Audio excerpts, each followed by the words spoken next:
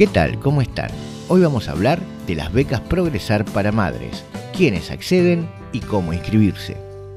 Visita mi canal Receta Natural para conocer las propiedades de los alimentos que consumimos y cómo usarlos en favor de nuestra salud. Encontrar remedios caseros y consejos de vida saludable en esta comunidad que no para de crecer. Si te gusta nuestro contenido, por favor, suscríbete a nuestro canal y activa la campana para no perderte ninguno de nuestros videos. El Ministerio de Educación comienza con la inscripción de las becas Progresar 2021, el programa estímulo para jóvenes estudiantes de nivel primario, secundario y universitario de todo el país. Las becas están dirigidas a jóvenes entre 18 y 24 años de edad.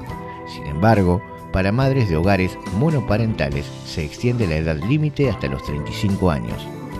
El pasado jueves, el ministro de Educación, Nicolás Trota, confirmó un aumento para las becas Progresar Habrá una actualización del monto, aseguró.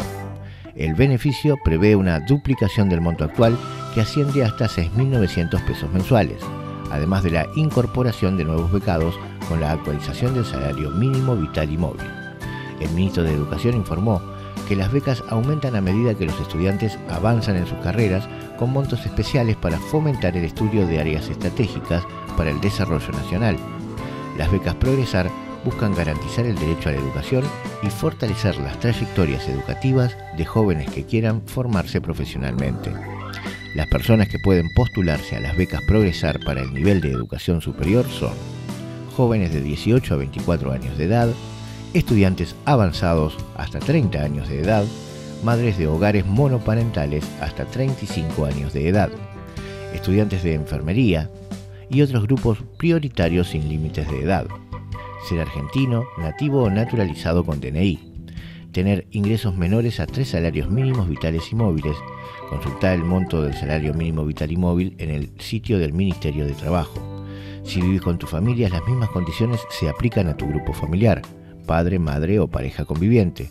Se reconoce como grupo familiar autónomo a los jóvenes con hijos. Personas con discapacidad sin límites de edad en todos los niveles personas trans sin límites de edad en todos los niveles. Por otra parte, si ya sos estudiante de nivel superior y querés acceder a la beca, deberás contar con más del 50% de las materias aprobadas según tu plan de estudio y tu año de cursada. Ingresa a mi ANSES, sección Becas Progresar con tu clave de la Seguridad Social. Si no tenés clave, podés crearla en la web. Descarga e imprimí el formulario de inscripción hace completar y firmar la sección segunda del formulario Datos de Educación por el instituto en que estudiás. Por último, subilo a mi ANSES.